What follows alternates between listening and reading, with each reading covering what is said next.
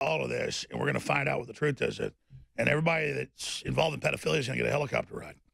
So, you see, we don't like to abuse children. We like to get our hands around monsters' necks and squeeze until their eyeballs bulge out and then their eyes disappear. And we just sent them straight to hell where the jaws of the devil are waiting. Gonna show them my world.